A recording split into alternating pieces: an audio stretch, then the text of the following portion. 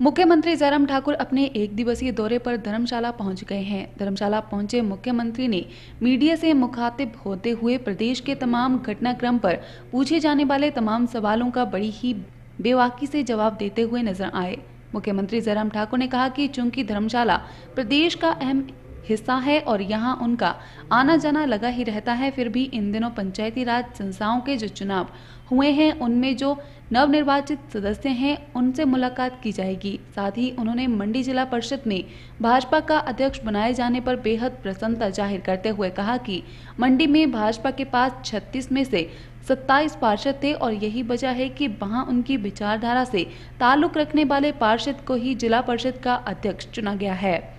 दिल्ली में चल रहे किसान आंदोलन पर अपनी तीखी प्रतिक्रिया ज़ाहिर करते हुए मुख्यमंत्री जयराम ठाकुर ने कहा कि ये बेहद दुर्भाग्यपूर्ण था। दिल्ली में जो आंदोलन चल रहा है, वो किसानों का आंदोलन नहीं है। किसान तो अपने खेतों में काम कर रहे हैं। पूर्व मुख्यमंत्री वीरभद्र सिंह द्वारा भविष्य में चुनाव न लड़ने की टिप्पणी पर मुख्यमंत्री जयराम ठाकुर ने कहा कि ये सवाल उन्हीं से पूछा जाना चाहिए, इसलिए क्योंकि पहले चुनाव न लड़ने और फिर बाद में चुनाव लड़ने की बात कहकर व्यंग्य की बात कहना अपने आप में ही हास्यास्पद है।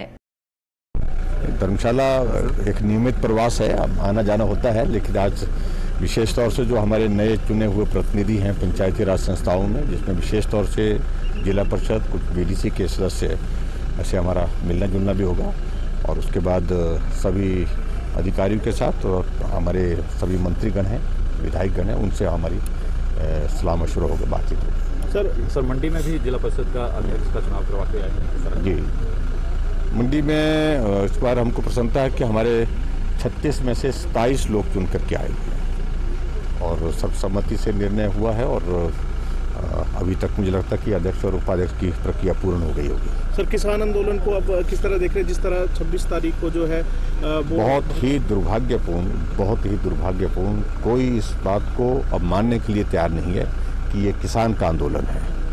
किसान तो खेतों में काम करता है। ये जो लोग इस प्रकार से सड़कों पर बैठे हैं जो कानून व्यवस्थाओं की धज्जियाँ उड़ाने की कोशिश कर रहे हैं ये किसान हो ही नहीं सकते।